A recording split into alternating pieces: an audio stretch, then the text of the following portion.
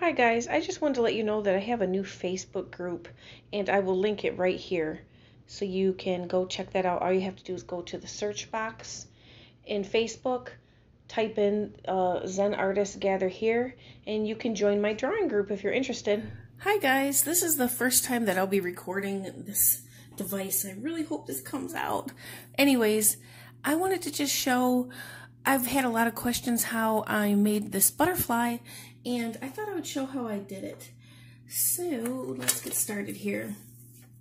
I used a die cut and I'll list everything that I used in the description box below.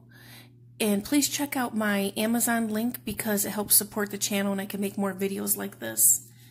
So the die cut that I used is this really pretty butterfly die cut. And how I created this Zentangle for this drawing is uh, I used like the leftover. It made almost like a stencil. See like that? As you can tell, I've used this one.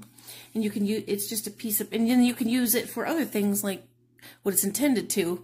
You can make butterflies or whatever. It's really pretty die cut.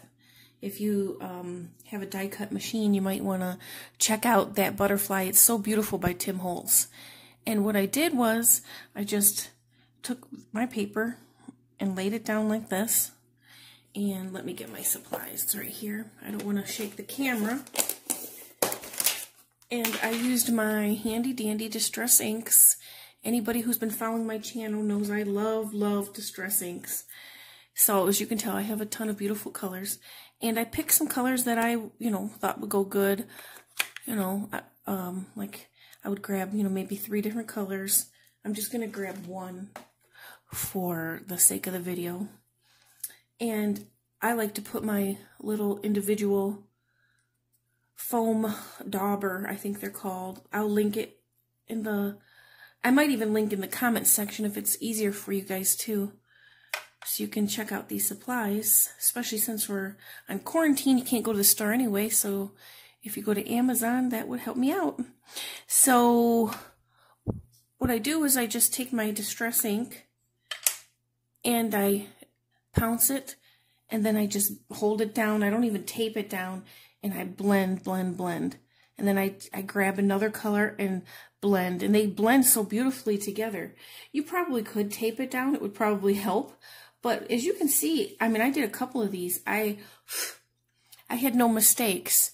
It, uh, as long as you are very, um, hold it very still, no problem. You really don't, I don't tape them down.